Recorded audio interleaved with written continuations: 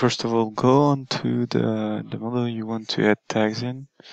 So let's say sale order for this one. Okay, I'm opening my sale order. Uh, I'll open Studio and from there I'm gonna add the many-to-many tags field here and I'm gonna create a new model.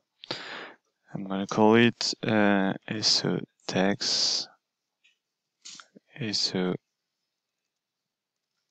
tags. Okay, I'm gonna save it. Okay, I'm gonna confirm.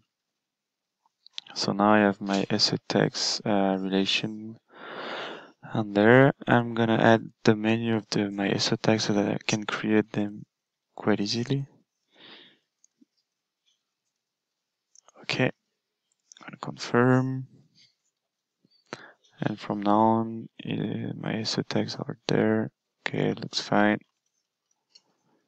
I'm gonna close and I'm gonna go to my asset tags. I'm gonna create one, marketing, and let's say R&D, I don't know.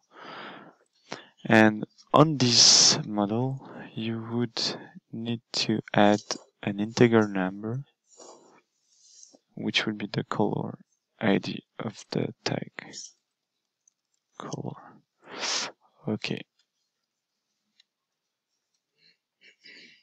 Okay. And now on your asset tags, you just need to fill in the color IDs of your asset tags. This is the first step. Okay.